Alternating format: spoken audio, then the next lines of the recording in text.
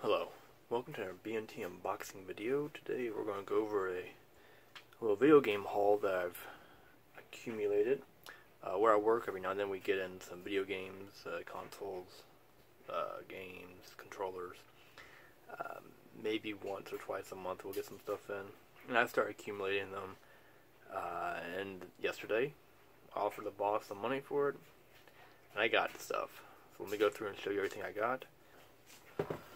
Alright, so this is the first one. It is a plastic case. Take the lid off, see a little bit more inside. This is actually a uh, a case that was developed, designed um, to hold 10 NES games inside of it. There are not 10 NES games inside of this at the moment. Uh, at work it was full, but a lot of them were sports games I wasn't interested in, so I removed those and put a few games I was interested in. I guess in a few months or a year, if those sports games are still there, maybe I'll try and get them, but enough of that. So, this is the case for the games, and then we'll go through the games. First up, we have a brand new sealed Mike Tyson Punch Out. That's previously played. But still, looks too. It has some generic instructions for it. That's interesting. So we got that one with the sleeve. Um, then we have uh, Super Bowl. Do apologize for the glare. Um, we'll continue with the NES games. Here we have Contra.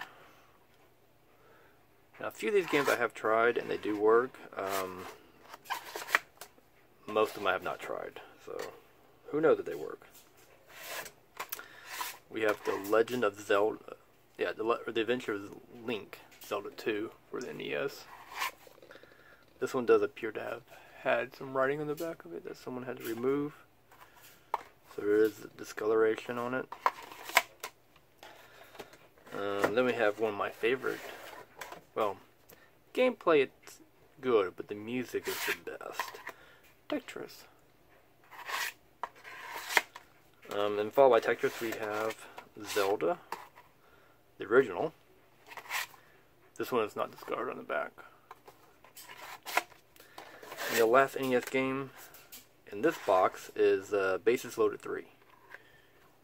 So we got a nice collection of NES games.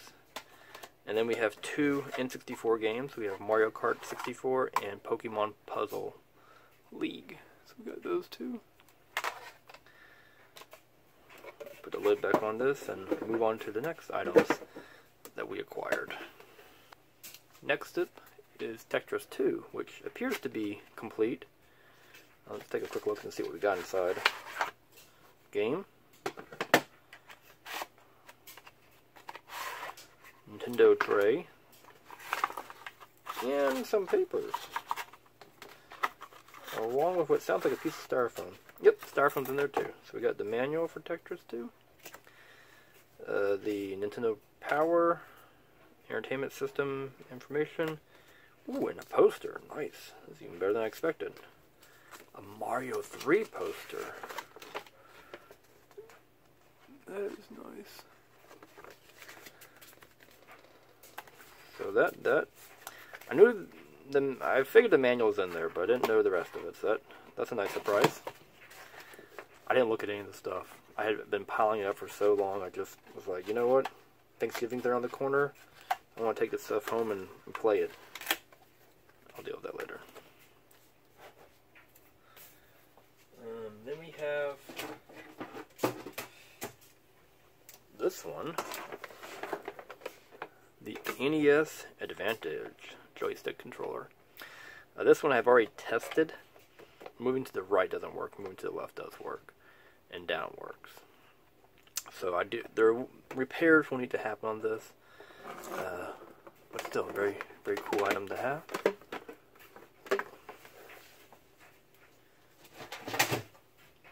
And then the Nintendo Game Boy Player. Disc, just the, the player itself. That is all the Nintendo items I got. we also got the PS1.